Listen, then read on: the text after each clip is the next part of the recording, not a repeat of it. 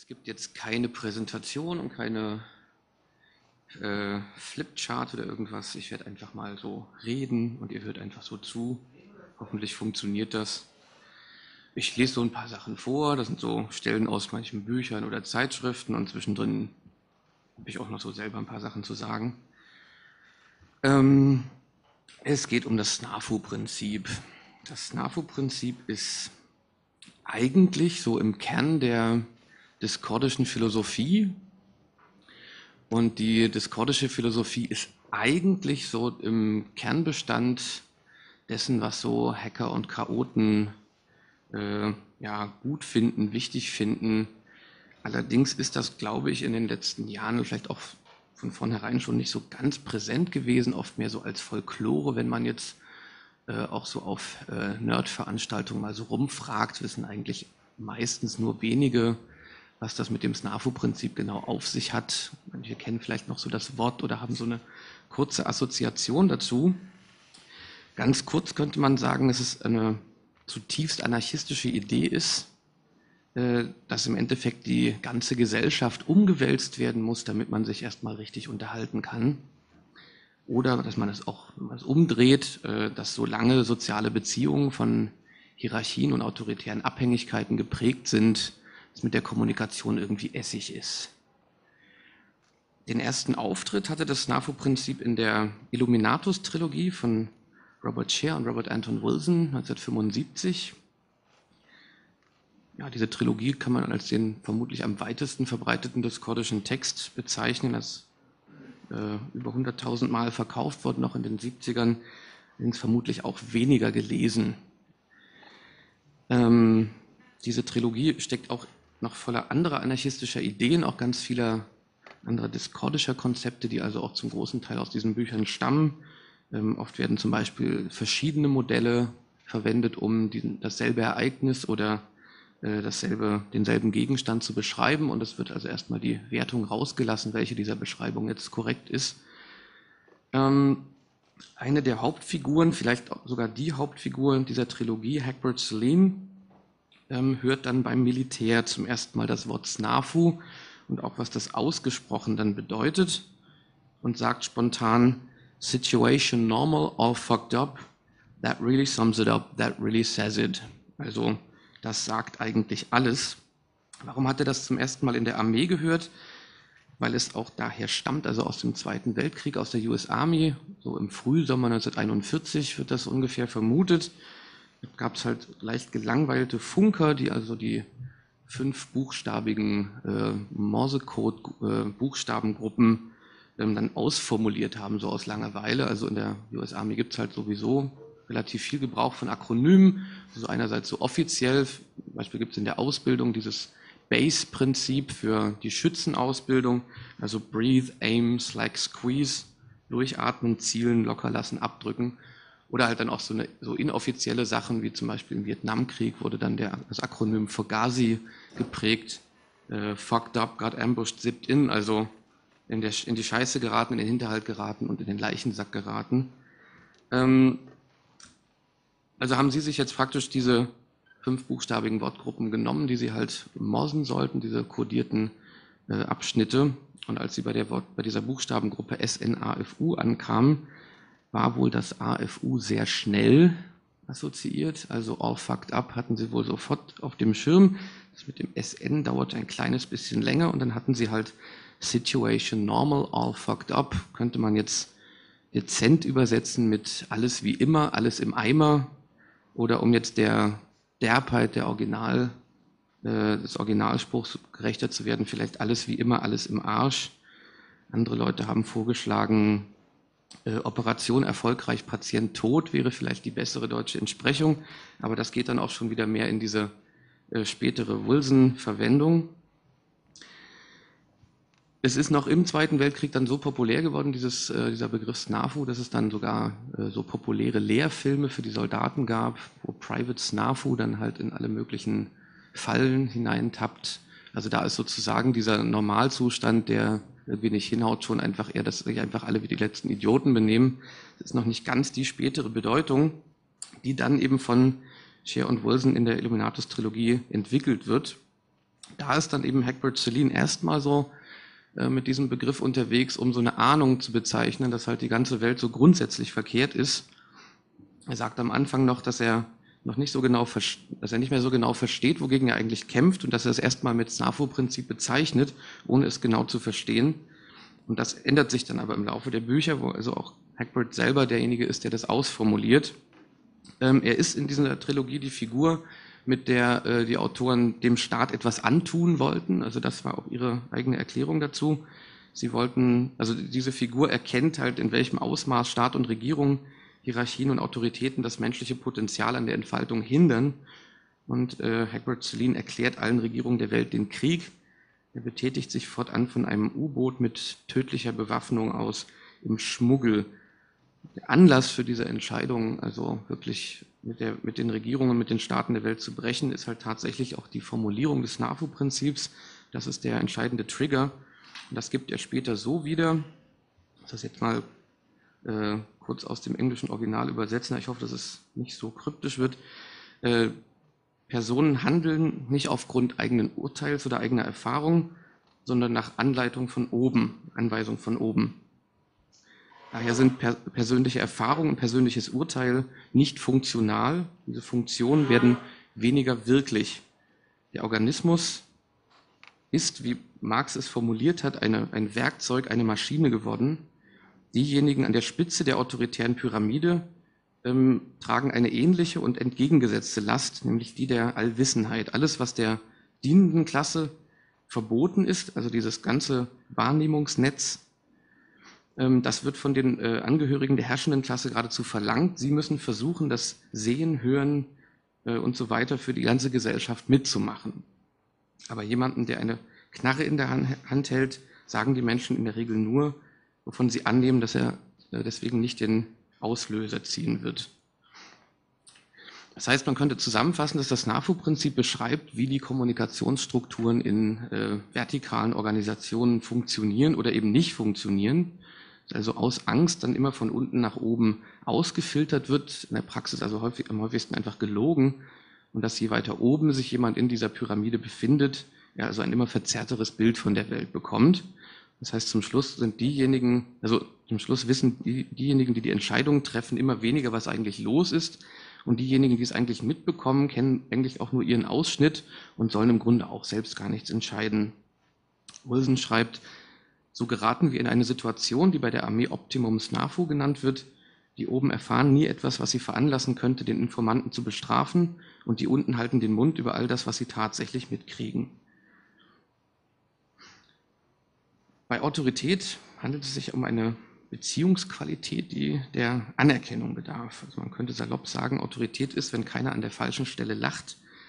Hierarchien versuchen also, sich unangreifbar zu machen, versuchen geschlossen zu wirken. In diesem Abschluss gegen Kritik lauert aber dann genau der Wirklichkeitsverlust. Wer den Eindruck vermittelt, nur Genehmes hören zu wollen, wird weniger über die Außenwelt wie auch über sich selbst erfahren. Dann kann er für nicht genehme Äußerungen Sanktionen verhängen und verstärkt sich dieser Effekt. So sagt dem Kaiser in Hans Christian Andersens Märchen niemand, dass er eigentlich nackt herumläuft. Nochmal ein kurzes Zitat von Wilson dazu. Jede Hierarchie ist ein Kommunikationssalat, jede herrschende Elite leidet an, leidet an progressiver Desorientiertheit. Je länger sie herrscht, umso verrückter wird sie. Dies ist auf die Tatsache zurückzuführen, dass jedermann die Mächtigen belügt, einige um der Bestrafung zu entgehen, andere um zu schmeicheln und Gunst zu erlangen. Daraus folgt, dass die Elite zu einer recht schiefen Ansicht in Bezug auf die Welt gelangt.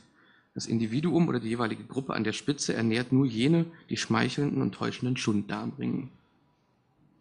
Egbert Celine sagt dann allerdings auch, es ist nicht nur die Armee, es ist die ganze Welt. Also insgesamt, äh, also bezogen wirklich auf jede Hierarchie, wie flach oder informell sie auch sein mag, alle erzeugen sie dieses Kommunikationsdilemma, das Ausfiltern von unten nach oben aus Angst vor der jeweiligen Sanktion. Das kann natürlich dann sehr unterschiedlich ausfallen. In der Armee bestimmte Disziplinarmaßnahmen. In der Arbeitswelt ist es dann die Kündigung. Die praktischen Erscheinungen dieses Ausfilterns sind dann am häufigsten einfach Lügen, Notlügen, Ausreden, auch einfach versuchte Manipulationen. Das ist immer abhängig von der Sanktionsabwägung. Ähm, kurz Impression aus der KPD in den 20ern, wie das Klaus Michael Meilmann, dieser Historiker, wiedergegeben hat. Denn gerade weil die Parteiangestellten existenziell von der Zentrale abhängig waren, mussten sie auch alles daran setzen, sich selbst und ihre Arbeit ins richtige Licht zu rücken, lieferten sie Berichte in dem häufig beliebten Stil. Alle Aufträge glänzend ausgeführt, alles steht zum Besten. So, und eigentlich weiß man ja dann immer schon, dass es das nicht bedeutet. Auf der jeweils höheren Ebene, in die diese Informationen dann eben nicht weitergegeben werden, herrscht dann entsprechend Informationsdefizit, das oft erstmal gar nicht bemerkt wird. Ähm, nicht zuletzt, weil Menschen auch sehr kreative Ideologen sind. Wenn es dann doch mal bemerkt wird, weil also die Nebeneffekte davon vielleicht auch zu sehr auffallen oder weil jemand dann die andere Seite doch vielleicht besser kennt, dann gibt es in der Regel erstmal so den Versuch der Nachfrage nochmal, wir können doch drüber reden. Ist natürlich aber dann auch meistens gleich endet, außer wenn sich die Sanktionsabwägung verändert hat in der Zwischenzeit oder es so einen Konfessionsdrang gibt. Dann habe ich ein kurzes Stück aus dem Roman Der 21. Juli von Christian von Dittfurt, wo es um so eine alternative Geschichte geht, wo das Attentat auf Hitler 1944 gelingt und da gibt es eine Unterhaltung zwischen dem Chef des sowjetischen Geheimdienstes und einem seiner Untergebenen. Das schildert von Dittfurt so, Wer in der Sowjetunion traute sich, seinem Vorgesetzten die Meinung zu sagen, ohne sie sorgfältig nach allen Seiten hin abgewogen zu haben? Es war gefährlich, sich auf eine Position festzulegen, vor allem dann, wenn man nicht wusste, was die Vorgesetzten oder die Partei entscheiden würden. Offenbar hatte Ivanov, also dieser Untergebene, keine Angst vor ihm. Und dann kommt halt genau diese Ansprache, so dieses, wir können doch über alles reden. Äh, der Chef sagt also zu seinem Untergebenen, Boris Michailowitsch, wir sind hier unter uns. Nichts, was hier gesprochen wird, dringt nach draußen. Ich bitte Sie, sagen Sie Ihre Meinung. Sie sind ein tapferer und kluger Mann. Ich kenne Ihre Personalakte. Sie werden es noch weit bringen. Wer nach oben will, muss manchmal etwas riskieren. Sie können sich gar nicht vorstellen, wie viel Schaden der Sowjetunion entstanden ist, weil Funktionäre und Offiziere im entscheidenden Augenblick das Maul nicht aufgekriegt haben. Wenn Sie offen mit mir sprechen, riskieren Sie nichts. Ich werde es für mich behalten. Sind Sie einverstanden, Boris Michailowitsch? da ist genauso dieser Double Bind drin, dass man im Grunde auch schon raushört aus dieser Ansprache, dass es offensichtlich die Möglichkeit von Sanktionen auch gibt. Aber es ist so netter verpackt. Wenn das dann nichts bringt, dann gibt es auch noch den Versuch des Erzwingens, also im härtesten Fall dann durch Folter oder durch andere Androhungen von Zwangsmitteln. Wieder gibt es dann vielleicht eine andere Sanktionsabwägung, ob dann dieser Zwang im Zweifelsfall schlimmer ist als die Konsequenzen der Wahrheit. Wenn das auch alles nichts bringt, dann fangen nochmal das ganze System, ganze Strukturen an mit Spionage. Dann wird also versucht, irgendwie trotzdem hintenrum rauszubekommen, was gedacht wird, was da eigentlich vor sich geht. Man versucht, die Leute zu unterwandern, zu kontrollieren, irgendwo Kameras aufzuhängen. Da haben wir ja hier heute und gestern auch schon viel, viel anderes drüber gehört. Ähm, das funktioniert allerdings eigentlich nur dann wirklich gut, wenn die Hierarchie besonders krass funktioniert und die Leute nicht das so weit verinnerlicht haben. Also wenn man tatsächlich mit Leuten zu tun hat, die diese Hierarchie einfach für selbstverständlich und natürlich halten, dann gibt es da nicht viel rauszukriegen. Dann hat man es dann eher mit zynischen Spionen zu tun, die nach oben dann auch solche Berichte weiterreichen und so tun, als hätten sie was rausgefunden. Nochmal vielleicht aus der KPD der 20er Jahre. Diese Selbstbeweihräucherung produziert in ihrer Summe eine erhebliche Verzerrung des Blicks auf die Wirklichkeit innerhalb und außerhalb der Partei und dürfte nicht unwesentlich zu den oft katastrophalen Fehleinschätzungen der KPD-Führung beigetragen haben. Die Feststellung im organisatorischen Bericht der Zentrale an dem Parteitag 1925, dass man sich nicht nur auf die Berichte, die von den Bezirksleitungen bei der Zentrale eingingen, verließ, sondern einen besonderen Kontrolleur einsetzte, dessen Aufgabe es ist, fortlaufend den organisatorischen Zustand der Bezirke zu überprüfen war zwar ein deutliches Zeichen des Misstrauens, insgesamt aber eher ein Bluff. Denn die Möglichkeiten der Kontrolle waren nicht sehr groß. Die Lektüre der Bezirkspresse gab diesbezüglich nicht, nicht allzu viel her, da sich deren Redakteure, die gleichfalls opportunistische Fehler vermeiden wollten, immer mehr auf die Sprachregelung von oben beschränkten, kaum einmal ungeschminkt über die Lage vor Ort, die realen Differenzen und die wirkliche Politik der Basis berichteten. Schlug man die Bezirkspresse auf, dann sah man sich in der Org-Abteilung des ZK darum mit einem Echo-Effekt konfrontiert, einer zirkulären Kommunikation, die langweilte, aber keine Kontrolle ermöglichte. Es geht beim SNAFU-Prinzip allerdings nicht nur um Armee und nicht nur um Staat und Parteien, es ragt viel weiter in den Alltag hinein und vermutlich ist das Feld des umfangreichsten Wirkens des SNAFU-Prinzips die Arbeitswelt. Ähm, dazu habe ich erstmal einen vielleicht sogar einigermaßen bekannten diskordischen Text, den ich trotzdem unglaublich gerne nochmal wiedergeben mag, über das Berichtswesen in Unternehmen. Zu Beginn gab es den Plan. Dann kamen die Annahmen. Und die Annahmen waren ohne Form. Der Plan war ohne Substanz. Und Dunkelheit war auf den Gesichtern der Arbeiter. Und sie redeten und sagten, das ist alles scheiße und es stinkt. Die Arbeiter gingen zu ihren Aufsehern und sagten, äh, es ist wie ein Haufen Kompost und wir können mit dem Gestank nicht leben. Und die Aufseher gingen zu ihren Managern und sagten, es ist ein Container voll mit Exkrementen und es ist sehr stark, sodass niemand es ertragen kann. Die Manager gingen zu ihren Direktoren und sagten, es ist wie eine Ladung von Düngemitteln und niemand kann seine Strenge ertragen. Die Direktoren sprachen unter sich und sagten, es enthält das, was Blumenwachstum anregt und es ist sehr stark. Die Direktoren gingen zu den Vizepräsidenten und sagten, es fördert das Wachstum und ist sehr stark. Die Vizepräsidenten gingen zum Präsidenten und sagten, dieser neue Plan wird aktiv das Wachstum unserer Firma stärken mit sehr wirkungsvollen Effekten. Und der Präsident sah auf den Plan und sah, dass er gut war. Und der Plan wurde die Vorgabe und schon war die Kacke am Dampfen. So, und hier geht es auf jeden Fall nicht zufällig um die Arbeitswelt. Ich hätte auch noch mal so zwei Impressionen aus, dem, aus der Welt des Einzelhandels hinzufügen will, so aus eigener Beobachtung, ähm, wo also ein Kollege den Unterschied zur Planwirtschaft einfach nicht erkennen konnte, was ungefähr so schilderte, Jemand aus der oberen Etage ermittelt morgens nach dem Aufstehen aus der Sternenkonstellation und seinem Mittelstrahlurin das Ziel, das ab diesem Zeitpunkt alle Mitarbeiter freiwillig zu erfüllen haben. Abhängig vom Erreichen dieses Ziels ist die obere Etage bei ihren Kontrollgängen sauer oder weniger sauer. Kommunikation zwischen Ihnen und der Belegschaft beginnt fast immer mit der Frage, wie es um die Erreichung des Ziels steht. Alle Teile der folgenden Antwort, die nicht direkt mit dem Ziel zu tun haben, werden komplett ignoriert. Nach einem solchen Kontrollgespräch sprechen die Mitarbeiter häufig auch mit den Kunden ähnlich taub und herrisch. Ich kann Ihnen nur helfen, wenn ich Ihre Frage verstehe. Deswegen muss man laut kommunizieren. In der Belegschaft wird weder das Ziel noch seine Festsetzung in Frage gestellt, stattdessen werden kreative Ausreden fürs Verfehlen und Begründung fürs Erreichen des Ziels erdacht, an die die Mitarbeiter mit jedem Tag auch selbst mehr glauben. In Gesprächen untereinander werden verschiedene Ausreden und Begründungen erprobt und verworfen. Da gab es auch eine andere Episode, wo Abteilungen neu zusammengesetzt wurden und schnell sichtbar wurde, dass sie deutlich unterbesetzt sind. Als Kunden sich darüber beschweren, kommt dann der Marktleiter, der die Unterbesetzung entschieden hat und schimpft die, also der Abteilungsleiter dann übrigens dann einen Security-Mann gefragt, ob er nicht noch ein Überwachungsvideo von dieser Ausflip-Marktleiteraktion hat. Ähm, kurz darauf läuft der Marktleiter nochmal herum und versucht sich jetzt in Anti-Snafu. Eine Kollegin erzählt, dass er sie im Plauderton darüber befragt hätte, wie sie den Umbau denn nun finden würde, ob es ihr jetzt besser gefiele. Als sie immer noch nur höflich geantwortet hatte, dass sie es ja ganz gut fände, bohrte er nach, nun sagen Sie doch mal ehrlich, wie Sie es finden. Habe ich natürlich nicht gemacht, erzählt sie.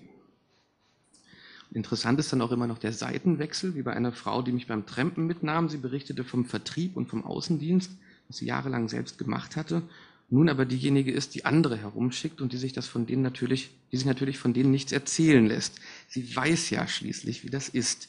Wenn die Zahlen nicht stimmen, kommen die Ausreden, versuchen alle ihre Unfähigkeit zu kaschieren.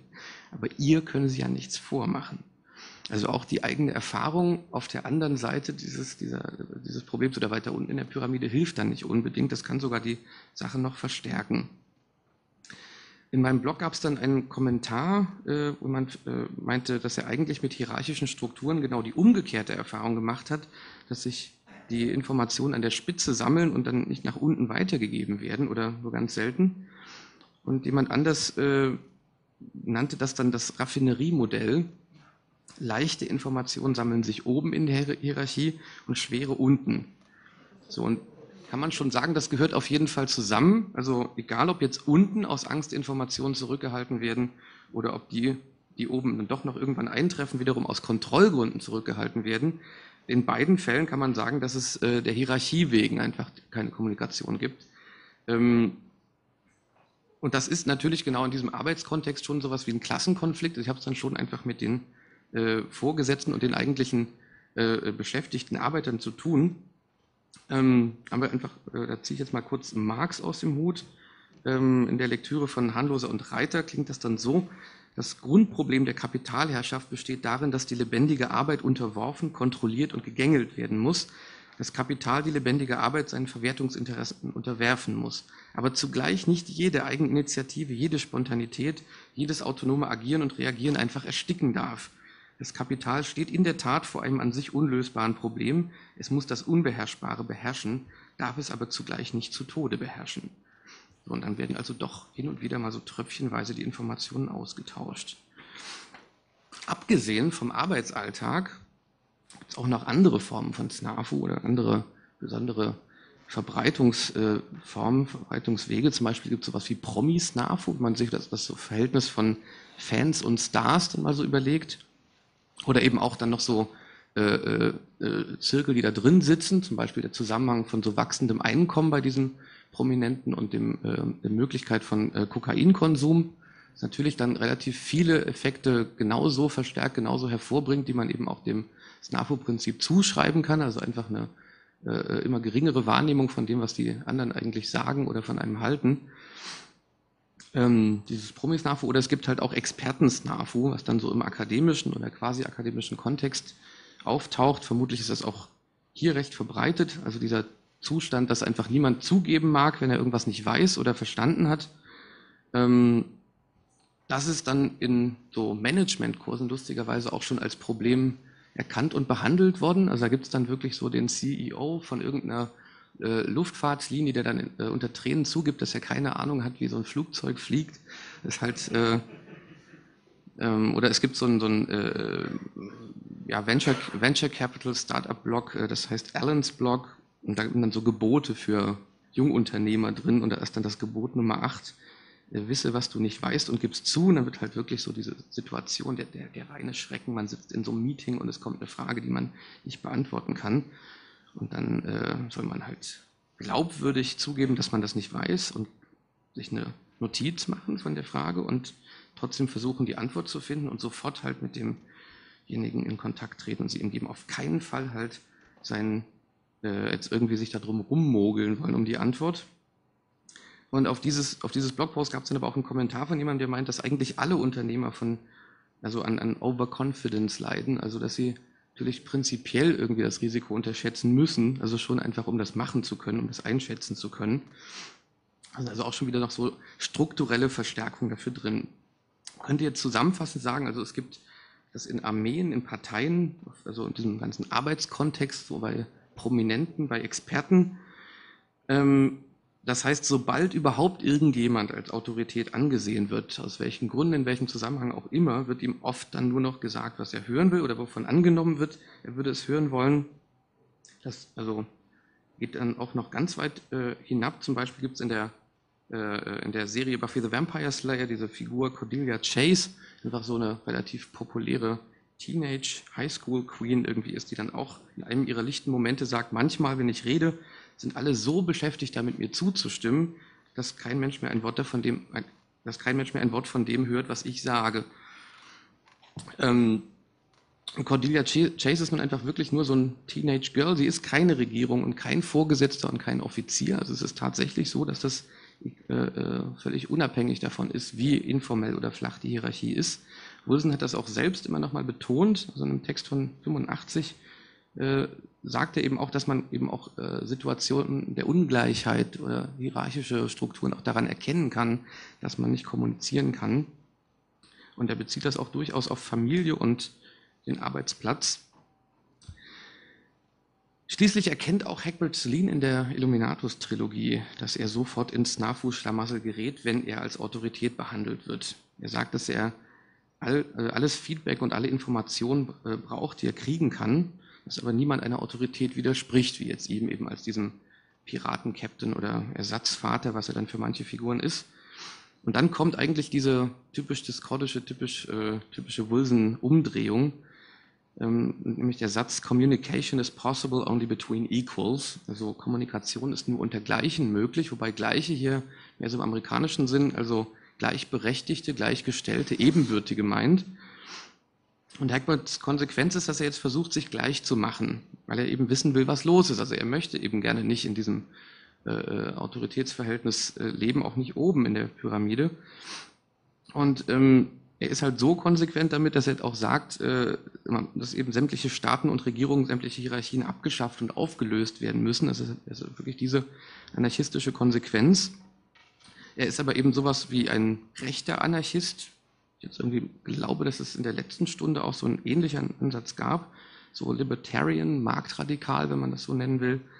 Äh, Egbert Celine, diese Figur verspricht sich also vom unbeschränkten Wirken des freien Marktes, dass der Staat überflüssig wird und damit alle Herrschaft verschwindet, was ich völlig anders sehe auf jeden Fall.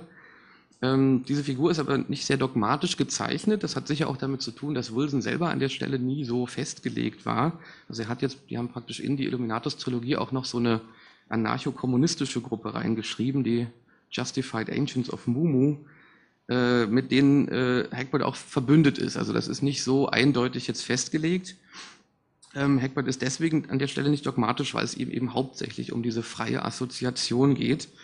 Und ähm, das ist auch bei Wilson später immer noch mal wieder betont worden, dass das eigentlich der Kerngedanke ist, die freiwillige, der freiwillige Zusammenschluss. Das ist ja tatsächlich wie im kommunistischen Manifest der Verein freier Menschen, in dem die freie Entfaltung jedes Einzelnen die Bedingung für die freie Entfaltung aller ist. Das steht da wirklich so drin. Ähm, so sieht's aber gerade überhaupt nicht aus. Also die Staaten sterben sowas von nicht ab. Arbeitsplätze bleiben Arbeitsplätze und der Markt belohnt und bestraft nach wie vor.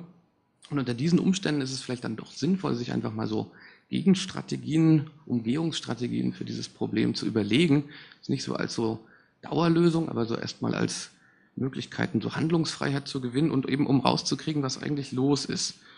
So, und da gibt es erstmal die Frage, was passiert oben in den Hierarchien? Also was machen eigentlich die Leute, die jetzt an der Spitze von Hierarchien stehen? Ähm, so die jüngeren Beispiele sind dann äh, äh der US-Präsident Barack Obama, der also dann mit allen Mitteln versucht hat, nicht in diese Informationsisolation zu geraten, die ein US-Präsident normalerweise umgeben. Also auch weiterhin versucht hat, seine private Kommunikation aufrechtzuerhalten, um eben nicht in dieser Bubble zu landen. Äh, diese zehn oder zwölf Leute, wie er sagt, von denen man normalerweise dann nur noch seine Informationen bekommt. Das Problem ist allerdings, dass das eben dann auch vom Secret Service sehr weiträumig unterbunden wurde, also es einfach wirklich als Sicherheitsrisiko angesehen wurde. Ähm, da muss ich sagen, habe ich jetzt äh, äh das auch seit ja, kürzerer Zeit nicht mehr wirklich so verfolgt, wie das ausgegangen ist, wie weit er sich da durchgesetzt hat. Auf jeden Fall sind so diese äh, dieses Ausmaß an direkter Kommunikation so mit der, äh, mit der Basis, mit dem äh, Wahlvolk, das ist aber, glaube ich, schon stark zurückgegangen. Ähm, gibt auch Berichte darüber, wie das in Deutschland läuft. Also vielleicht auch erst nochmal der Zustand vorher. Es gab im Spiegel vor zwei Wochen einen interessanten Bericht über die Welt des Bundeskanzleramts. Da hieß es, dass Gerhard Schröder fast jede Nacht dort geschlafen hat, ganz oben unterm Dach.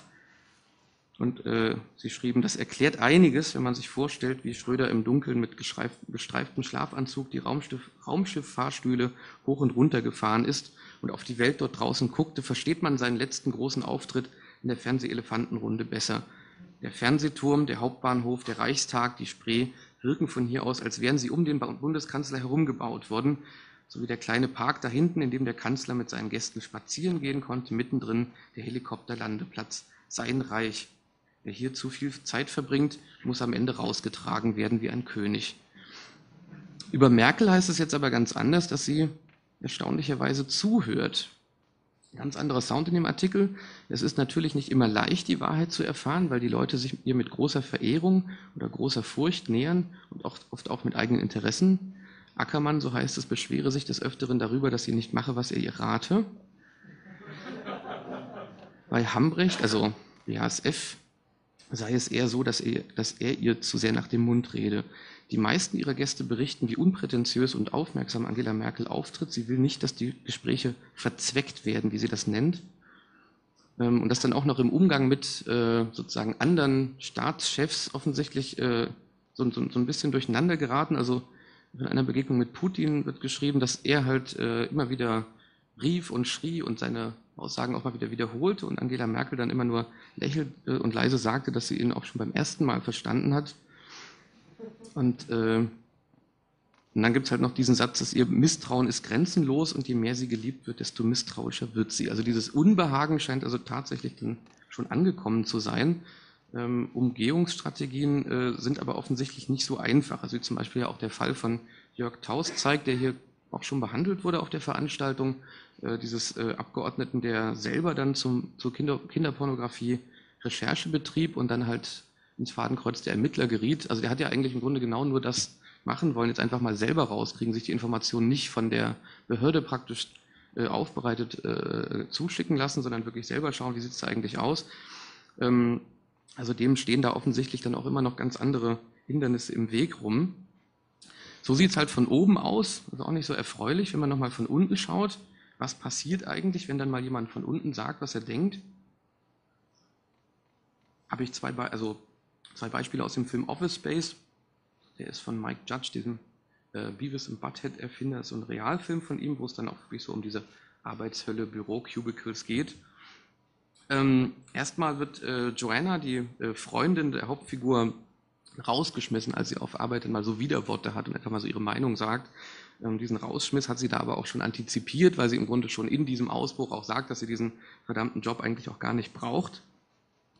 Bei der Hauptfigur selber, bei Peter, funktioniert das dann völlig anders. Der will eigentlich gar nicht mehr arbeiten. Der hat also im Grunde überhaupt keinen Bock mehr drauf, geht aber dann doch nochmal zurück, weil er da irgendwas vergessen hat. Und es ist halt gerade irgendwie so ein, sind so Counselors im Haus, die jetzt halt rausfinden sollen, wen man im Betrieb auch irgendwie einsparen kann, wen man also feuern kann.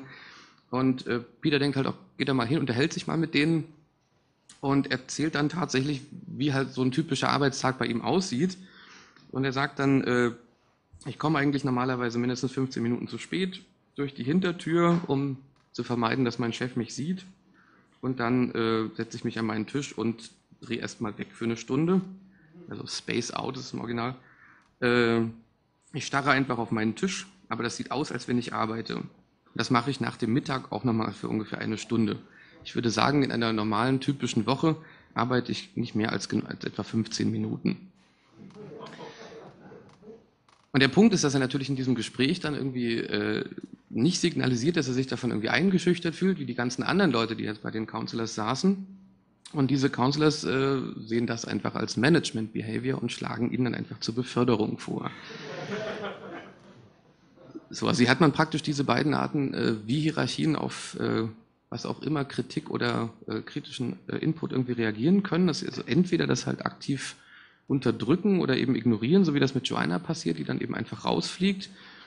Ähm, manchmal wird dann dieses, dieses Ignorieren auch wirklich sehr aktiv betrieben, dass man halt diese Person, die äh, da irgendwas kritisiert hat, äh, beschuldigt, dass sie halt glaubt, sie würde, würde alles besser können oder würde sich jetzt auf Kosten dieser Hierarchie irgendwie profilieren wollen oder so. Oder die Hierarchie reagiert genau umgedreht durch Vereinnahmung, durch Eingemeindung, indem sie jetzt also zum Beispiel Peter einfach versucht, zum Teil des Problems zu machen. Solange die Hierarchie allerdings nicht aufgegeben wird, wenn nicht aufgegeben werden kann, solange für möglicherweise falsche Antworten der Ausschluss aus der Gruppe, der Partei, dem Verein oder dem Arbeitsmarktsegment droht, scheinen die einzigen, wenigstens teilweise erfolgreichen Gegenmittel gegen den SNAFU-Effekt in dieser Öffnung gegenüber Kritik von außen oder in der Institutionalisierung interner Kritik zu bestehen. So, das machen bestimmte Strukturen durchaus. Also es gibt ja sowas wie Parteiopposition, die man sich dann auch als Partei durchaus so hält, um als Tino wieder mal noch mitzukriegen, was es eigentlich für abweichende Auffassungen gibt. Oder sowas wie Betriebsräte, die auch oft relativ, also ohne große Befugnisse sind, aber schon einfach mal so artikulieren können, wenigstens so vorsichtig, teilweise, was da von unten so droht oder wie da so die Stimmung ist. Ähm, auch eine, also auch eine der Funktionen des CCC ist ja durchaus, dass er halt als so so eine Art externer Berater dann auftritt, dann immer mal hinzugezogen wird, irgendwo als Sachverständigengruppe, die dann nochmal so vorsichtig den Leuten erklären kann, dass es einfach alles ziemlicher Blödsinn ist, was dann an Sicherheitsvorstellungen und sowas äh, äh im Umlauf ist. Äh, was in diesen Situationen passiert, also in dieser Konfrontation mit externer Kritik, sofern das eben mal wirklich äh, bis in die Hierarchie vordringt, das kann man schon fast dann als eine Konsequenz eines anderen Konzepts von Wilson sehen, des Konzepts des Realitätstunnels damit äh, der Versuch zu beschreiben, also praktisch, das ist, also der Realitätstunnel ist die Summe der äh, zugelassenen Wahrnehmungen für eine Person. So, und äh, dieses, dieser SNAFU-Effekt, der reduziert natürlich diese Zahl von Wahrnehmungen, die erlaubt sind, einfach immer mehr ausgeblockt wird und rausgeworfen wird. Und wenn man das jetzt aber öffnet, wenn man eben tatsächlich dann doch sagt, äh, was sagen die denn, was, wie sieht denn diese Kritik überhaupt aus, dann äh, steigt diese Zahl wieder an. Wilson hat also dementsprechend auch vorgeschlagen, wirklich äh, statt jetzt immer nur nach Bestätigung und Zuspruch zu suchen, äh, tatsächlich sich eben gerade die abweichenden, die entgegengesetzten Positionen anzugucken und, und, eben auch solche Auffassungen, die auch tatsächlich ernst zu nehmen, sich erstmal kommen zu lassen, also genau diesen Reflex einfach zu unterdrücken und zu sagen, aha, das sehe ich aber ganz anders. Also wirklich erstmal darauf einzugehen. Er schrieb zum Beispiel einer äh, äh Romanfigur, die halt so einer ja, irgendeiner spirituellen Gruppe irgendwie vorstand, dann äh, zwei Fragen zu, die eben neuen Adepten dann als erstes gestellt wurden. Und die erste Frage war, warum kommen sie bei all den mystischen Lehren in der Welt ausgerechnet zu uns? Und die zweite ist, warum, wenn man all die Tage ihres Lebens bedenkt, ausgerechnet heute? Das ist halt tatsächlich so der Versuch, noch äh, jetzt gar nicht erst so ein, so ein, so ein, äh, also so ein Abhängigkeitsverhältnis aufkommen zu lassen, doch erstmal klarzustellen, äh, das, also was ist das jetzt hier eigentlich, was passiert hier überhaupt, von vornherein das einfach zu öffnen. Aber auch nicht repressive und nicht offen vereinnahmende Strategien zielen letztlich auf die Optimierung der Hierarchie. Das ist nur dann sinnvoll, wenn man jetzt zum Beispiel will, dass Staat oder Unternehmen besser laufen. In jedem anderen Fall muss man sich fragen, was der Inhalt dieser jeweiligen Struktur ist, die da optimiert wird. Ähm, man greift den eigenen Realitätstunnel nicht nur durch die Konfrontation mit abweichenden Auffassungen an, sondern auch am besten noch besser sogar äh, durch die Kritik genau der Strukturen, die einem am nächsten sind. Also tatsächlich sich mit dem, äh, was auch immer, Glaubenssystem, äh, Gruppenstrukturen um einen direkt herum einfach erstmal zu beschäftigen, weil da geht das ja erstmal los, da sitzt man ja selber mitten im Problem. Und da würde ich auch sagen, dass, dass, äh, dass es zumindest der Versuch ist, also meine eigene Konsequenz jetzt einfach äh, einerseits also der Versuch, ebenbürtig zu kommunizieren, aber eben andererseits auch konsequent die Gruppen und Strömungen oder Ideen zu kritisieren, die ich gut finde, denen ich mich jetzt nahe sehe, weil gelobt werden sie meistens genug, also gerade jetzt von sich selbst, das garantiert ja dieses NAFO-Dynamik gerade, das ist ja gerade der Vorgang, und Kritik gibt es eigentlich fast immer zu wenig. Das, das kann man prinzipiell so sagen. Ähm, da habe ich noch ein Zitat von André Gide, das ist dann aus den 30er Jahren, wo er ist also auch so ein kommunistischer Dissident gewesen, der dann äh, sagte, äh, ich bin so veranlagt, dass sich meine größte Strenge gerade gegen diejenigen richtet, mit denen ich am liebsten immer einverstanden wäre. Und meines Erachtens bringt nicht der seine Liebe am besten zum Ausdruck, der nur zu loben weiß. Ich glaube der Sache, in dem Fall dann die Sowjetunion war, mehr und wirksamer zu dienen, wenn ich offen spreche, ohne Vorsicht und Rücksicht. und man kann diese Einstellung also nicht nur bis zu den Discordien oder zu solchen Dissidenten zurückverfolgen, sondern bis in die antike Philosophie. Also Heraklit, der vielleicht erste dialektische Denker, so 500, 600 vor war das, glaube ich, äh, hat also auch durchaus so für permanenten Streit plädiert. Das hielt er für den friedlichsten Gesellschaftszustand, weil einfach immer alles ausgetragen wird, nichts zurückgehalten wird, einfach immer alles in der Verhandlung ist sozusagen. Wenn ich jetzt meine Kritik gegen äh, das richte, was mir jetzt selber am wichtigsten ist, was, was wäre das dann eigentlich? Ähm, das wären in meinem Fall äh, zwei Strömungen, von denen ich auch annehmen würde, dass sie am ehesten in, so, in die Richtung einer äh, Gesellschaft weisen, die vielleicht dann ohne Hierarchien und Autoritäten auskommen könnte und in der dann natürlich auch das NAFO-Prinzip möglicherweise obsolet wird. Erste dieser Strömungen, das sind die Discordia selbst, die also im besten Fall für die Ausnahme für die Abweichung, für den Widerspruch und das Individuum auftreten, für das, was nicht passt, was nicht mitmacht, nicht vorgesehen ist und die somit auch immer den eigenen Standpunkt in Frage stellen können, die eben genau wie Wilson das vorgeschlagen hat, versuchen abweichende und entgegengesetzte Auffassungen zu studieren und äh, auch mehrere Modelle für die meisten Sachverhalte äh, zu kennen versuchen, die sie dann fallweise anwenden können. So, das ist natürlich jetzt eher der Idealzustand, wenn ich jetzt nicht behaupten würde, dass das unbedingt alles so praktiziert wird, aber diesen, äh, äh dieses Gedankengut gibt es im Discordischen auf jeden Fall. Die zweite Strömung wäre dann halt die kommunistische Kritik, die halt im, wiederum im besten Fall halt die Voraussetzung unseres Denkens, unserer Weltanschauung sichtbar machen kann, also Verwertung fürs Kapital und Herrschaft. Diese Kritik kann eben auch die Schädigung durch die herrschende Gesellschaftsordnung sichtbar machen, die Verhältnisse als menschengemacht und nicht biologisch zwangsläufig sichtbar machen also als prinzipiell veränderbar. Beide dieser Strömungen haben aber natürlich kein irgendwie geartetes Wahrheitsmonopol. Und jenseits der, dieser SNAFO-Mechanik gibt es auch eigentlich keinen Grund, an irgendwelchen ewigen Wahrheiten festzuhalten.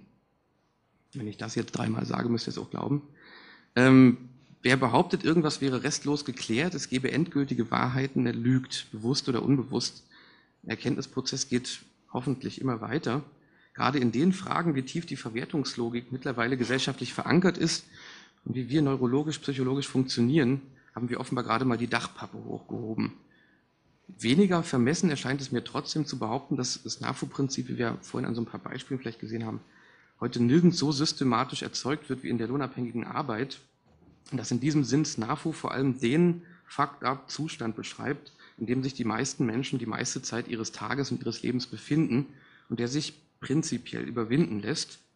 Nochmal ganz kurz ein kleines Stückchen Marx, der ja äh, diese Überwindung tatsächlich auch in der gegenwärtigen Gesellschaftsordnung halt lokalisiert. Also sagt, die massive Reduktion der Arbeitszeit, die kollektive Verfügung über die Produktionsmittel, die Überwindung der hierarchischen Arbeitsteilung und die Verwirklichung der sozialen Allseitigkeit des Individuums stützen sich auf reale Bedingungen im Kapitalismus.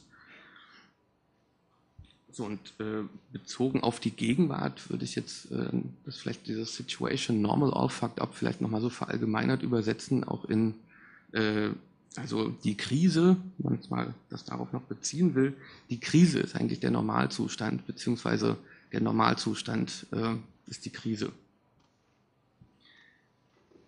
Ja, damit bin ich auch erstmal soweit durch. Bin jetzt gar nicht sicher, wie weit wir in der Zeit sind. Die anderen hatten hinterher einen Workshop. Ich kann euch anbieten, Diskussion einfach unten am Bücherstand weiterzuführen, wo ich mich jetzt noch ein bis zwei Stunden aufhalten werde. So, also wer nicht zur Abschlussveranstaltung gehen will, kann mir ja vielleicht einfach folgen. Oder wenn es noch akute Fragen gibt, kann ich die jetzt aber auch gerne schon beantworten. Brauchst Okay.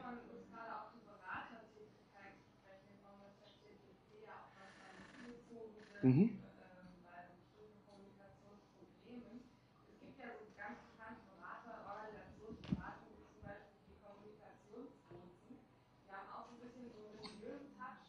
Okay, die kenne ich nicht. Und, oder auch Metaplan, die sind ein bisschen bekannter und ähm, die greifen gezielt an so, ähm, ja, die werden direkt konsultiert und diese, diese Kommunikationsprozesse, die dann live, die sind sehr, sehr langwierig. Also ich, mich würde jetzt mal interessieren, ähm, ja, wer, also kannst du auch mal ein Beispiel nehmen, wer, wer jetzt mit CCC konsultiert bei irgendwas oder welche Expertise Also es geht ja dann eigentlich eher um, also jetzt nicht unbedingt einfach so um reine Kommunikationsprobleme, sondern der Punkt ist jetzt, dass tatsächlich irgendwo mal die Frage auftaucht, wie es jetzt mit irgendeinem bestimmten Sicherheitsstandard im Internet oder sowas eigentlich äh, aussieht. Und dann werden durchaus halt äh, CCC-Leute auch mal angefragt, was äh, jetzt eigentlich ihre Position dazu ist, weil sie jetzt einfach nicht unbedingt eben in diesem Apparat stecken, jetzt irgendwie wirklich Teil dieser äh, Beschlusslandschaft sind. Also die, die, Fragen kommen dann eben durchaus aus dem politischen Betrieb von Leuten, die jetzt selber diese Entscheidungen fällen müssen, einfach bestimmte Gesetze erlassen müssen oder was auch immer. Und äh, genau in solchen Situationen gibt es dann also jetzt wirklich einfach die externe Expertise eben von, von unabhängigen äh, Leuten. Und der CCC hat sich ja da durchaus dann auch immer schon mal hervorgetan, ihm einfach zu zeigen, an welchen Stellen solche äh, äh sicheren technischen Systeme eben einfach gar nicht sicher sind. Einfach demonstriert ja auch teilweise praktisch wo da einfach Lücken sind. Also sie sind jetzt nicht unbedingt, werden jetzt nicht unbedingt hinzugezogen, um jetzt äh, das Kommunikationsproblem selber zu lösen. Also es ist jetzt eher schon, das ist ja schon der Versuch, es zu lösen, das irgendwie zu umgehen, dass man jetzt Leute fragt, die einem vielleicht wirklich mal noch sagen, wie es wirklich ist. Die jetzt nicht nur das sagen, was eben in so einem, in so einer Sicherheitsbehörde eben dann die Auffassung ist.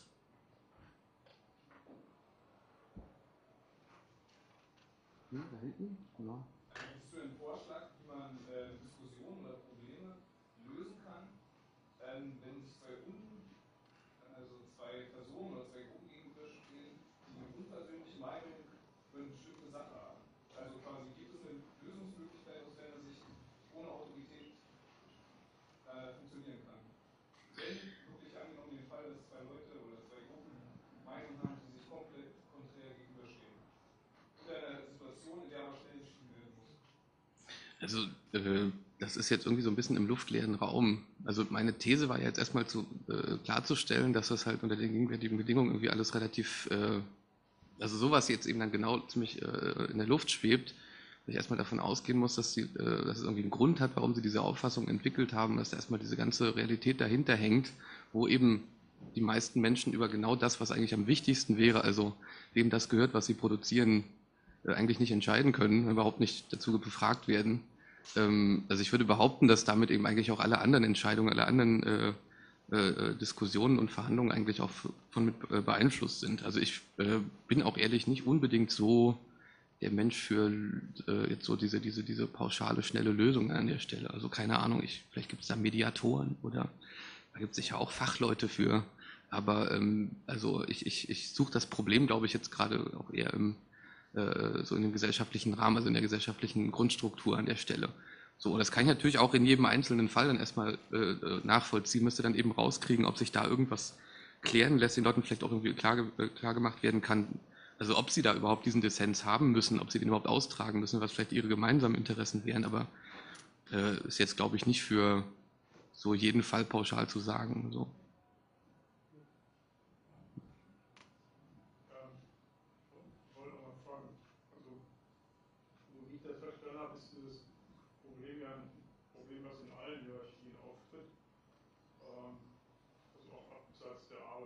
Mhm.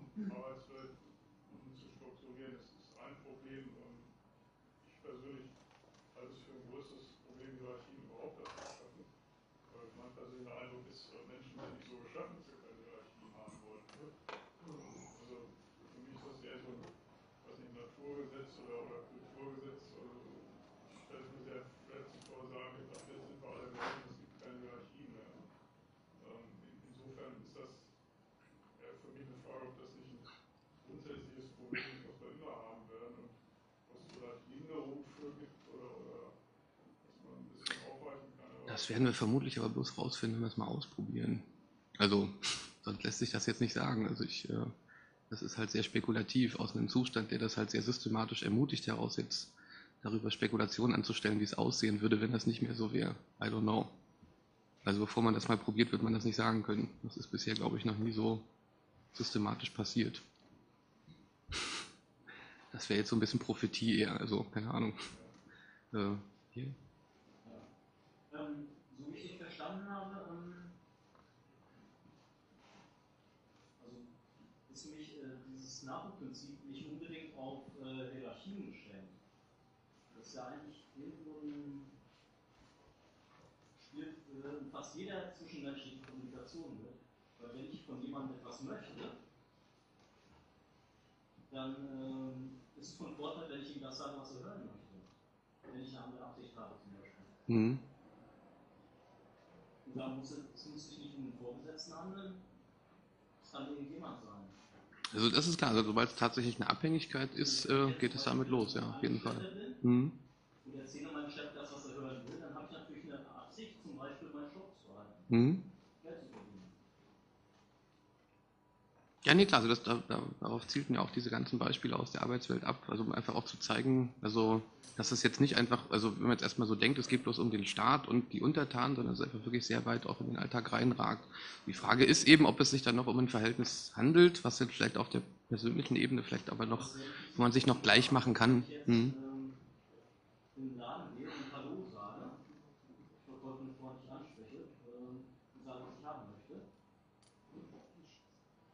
Die Frage ist jetzt halt, was, was du da an Informationen zurückhältst oder ob da jetzt wirklich ein Kommunikationsproblem entsteht an der Stelle. Also daran würdest du es ja erkennen, ob das jetzt wirklich eine Ungleichheit ist oder nicht.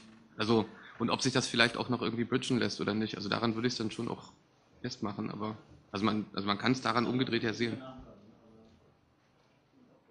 Also in dem Moment, wo halt äh, trotzdem der Informationsaustausch stattfindet, äh, also, es, also würde ich jetzt nicht von SNAFO-Prinzip sprechen, weil das ist ja nichts fucked up, dann ist es ja alles in Ordnung. Aber also daran kann man es eigentlich festmachen, also ob der, also ob dieser Austausch noch stattfindet oder nicht. Ähm, da hinten gab es noch. Genau.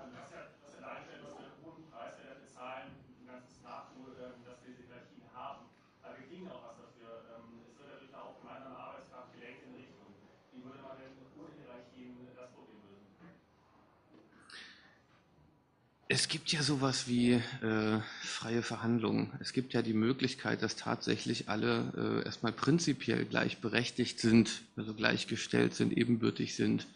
So und äh, äh, also diese, dieser Zustand ist aber, darauf wollte ich jetzt eigentlich auch schon mehrfach hinaus, der ist einfach auch nicht gegeben. Also diese äh, äh, Gleichheit, diese, diese Gleichstellung, die jetzt halt vom, vom Recht irgendwie behauptet wird, die ist ja, das ist ja eine Farce, es ist ja Unfug. Also es ist ja eben genau durch die Eigentumsordnung einfach gewährleistet, dass es halt wirklich nur auf dem Papier existiert. So, ich habe das halt genau in dem Moment, wo ich mich jetzt wirklich nur so auf dem freien Markt dann irgendwie erstmal bewege, wo sich dann alle als äh, äh, Tauschpartner sozusagen äh, äh, gegenüberstehen. Aber sobald ich halt tatsächlich jetzt in diese Arbeitswelt hineinkomme, wo es dann eben mit abhängig beschäftigten Menschen zu tun habe, ist das mit der Gleichheit eben einfach vorbei. Also da ist davon, äh, kann davon eigentlich nicht mehr die Rede sein. Und äh, das heißt, das lässt sich jetzt nicht einfach so un unter den gegebenen Bedingungen äh, herstellen. Das glaube ich auch nicht. Und ich bin auch jetzt nicht irgendwie der Typ, der meint, hey, lass uns das morgen machen. Also äh, möglicherweise klappt das auch nie. Möglicherweise kriegt man das auch einfach nie hin. Also ich würde das diese Möglichkeit in Betracht ziehen. Ich würde es bloß einfach besser finden. Also ich würde einfach sagen, ich halte diesen Zustand so einfach für relativ furchtbar und also, also es, es wäre, es wäre aus meiner Sicht besser, wenn es anders wäre. Aber äh, ich also glaubt nicht, dass ich jetzt unbedingt äh, da irgendwie schon so Organigramme aufmalen kann, wie das dann aussieht. Also möglicherweise ist man jetzt auch einfach selber schon noch viel zu krass in diesem, äh, äh, also in dieser Gesellschaft, in dieser Welt einfach auch verstrickt, um sich das jetzt schon so sauber vorstellen zu können. Also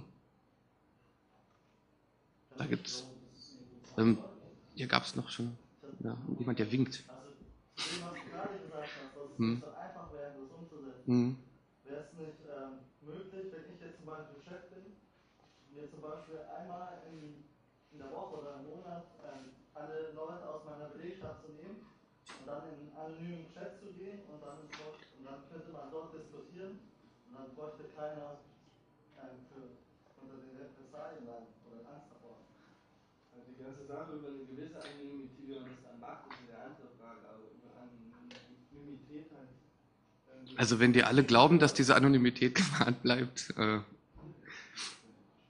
also es gibt immer diese Versuche, das irgendwie zu umgehen, aber das ändert halt einfach nichts daran, dass eben auch dann in diesem, also auch in diesem Kontext dann Leute trotzdem immer noch überlegen werden, ob das jetzt vielleicht doch irgendwie rauskommt, dass es doch irgendwie zuzuordnen ist, ob man nicht doch weiß, okay, das und das, dass das Ding über die Besenkammer, das kann ja wieder bloß vom Hausmeister kommen. Also, also jetzt, dann bloß so als Beispiel. Also wie anonym ist man denn dann gerade? Also, ja die Arbeitswelt ist halt auch nicht so anonym, wie man das sich vielleicht vorstellt. Dann, ja. Ähm, ich würde es jetzt trotzdem abbrechen wollen, weil ist jetzt Beginn der Abschlussveranstaltung. Ich gehe jetzt, wie gesagt, runter zum Bücherstand und wer will, kann dann auch gerne weiter diskutieren oder fragen. Vielen Dank.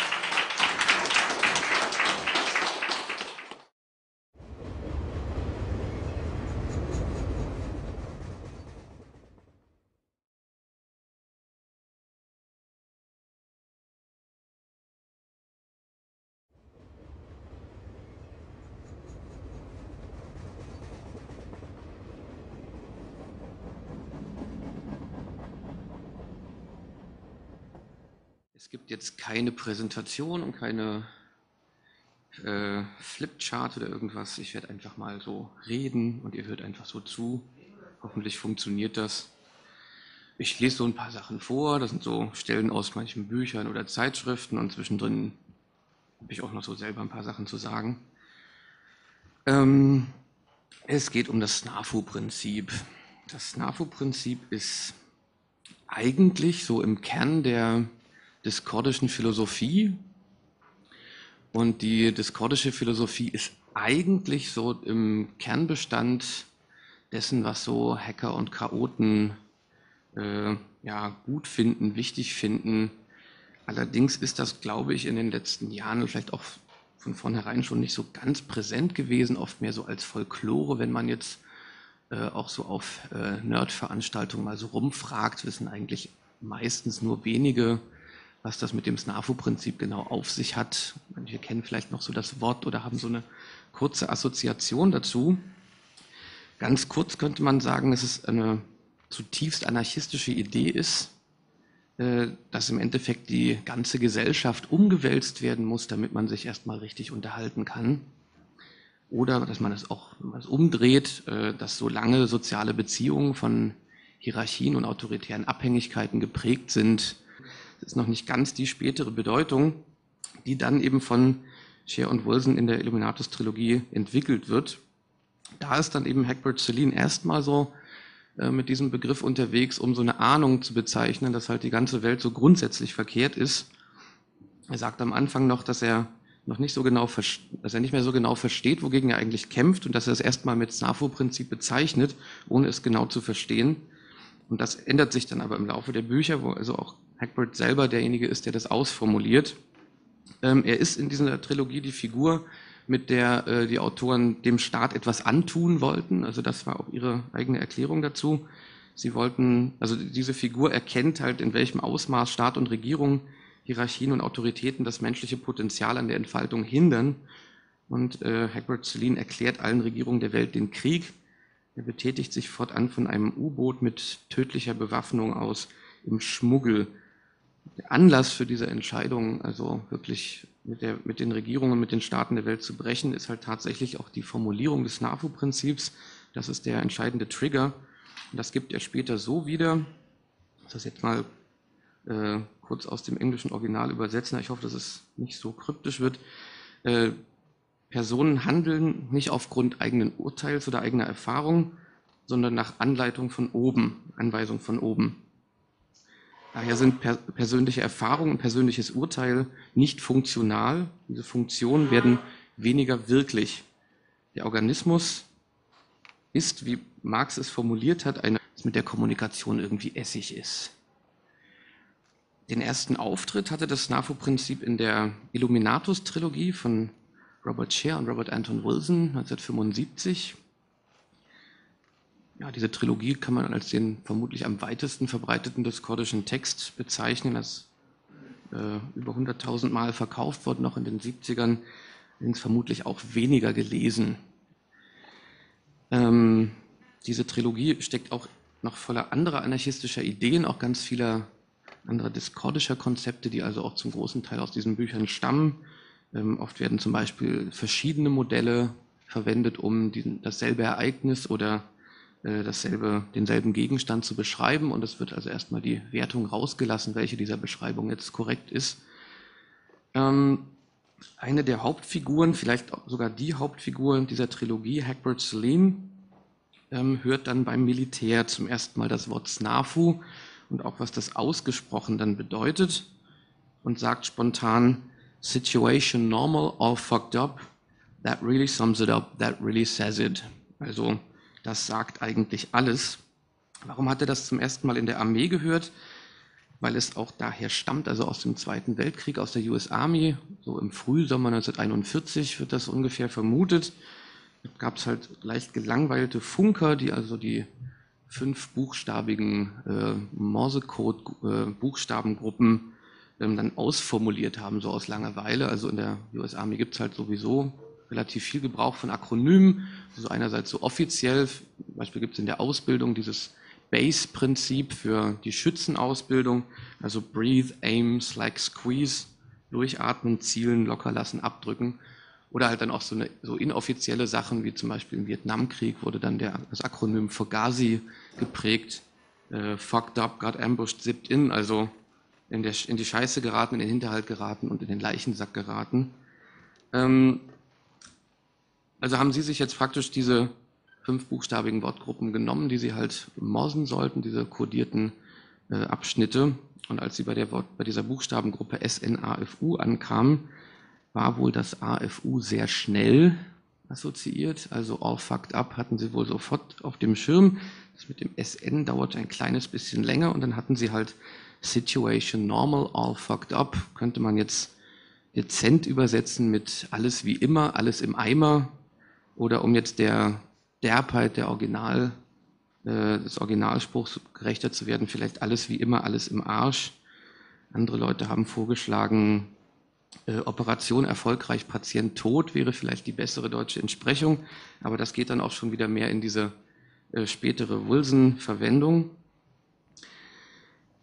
Es ist noch im Zweiten Weltkrieg dann so populär geworden, dieses, äh, dieser Begriff SNAFU, dass es dann sogar äh, so populäre Lehrfilme für die Soldaten gab, wo Private SNAFU dann halt in alle möglichen Fallen hineintappt.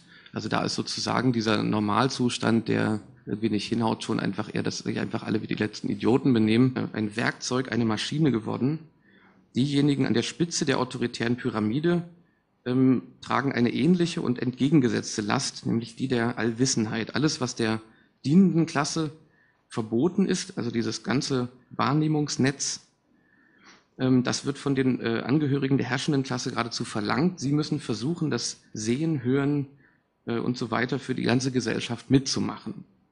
Aber jemanden, der eine Knarre in der Hand hält, sagen die Menschen in der Regel nur, wovon sie annehmen, dass er äh, deswegen nicht den Auslöser ziehen wird. Das heißt, man könnte zusammenfassen, dass das NAFU-Prinzip beschreibt, wie die Kommunikationsstrukturen in äh, vertikalen Organisationen funktionieren oder eben nicht funktionieren. Also aus Angst dann immer von unten nach oben ausgefiltert wird, in der Praxis also häufig, am häufigsten einfach gelogen. Und dass je weiter oben sich jemand in dieser Pyramide befindet, er also ein immer verzerrteres Bild von der Welt bekommt. Das heißt, zum Schluss sind diejenigen, also zum Schluss wissen die, diejenigen, die die Entscheidungen treffen, immer weniger, was eigentlich los ist. Und diejenigen, die es eigentlich mitbekommen, kennen eigentlich auch nur ihren Ausschnitt und sollen im Grunde auch selbst gar nichts entscheiden. Wilson schreibt, so geraten wir in eine Situation, die bei der Armee Optimum SNAFU genannt wird. Die oben erfahren nie etwas, was sie veranlassen könnte, den Informanten zu bestrafen, und die unten halten den Mund über all das, was sie tatsächlich mitkriegen. Bei Autorität handelt es sich um eine Beziehungsqualität, die der Anerkennung bedarf. Also man könnte salopp sagen, Autorität ist, wenn keiner an der falschen Stelle lacht. Hierarchien versuchen also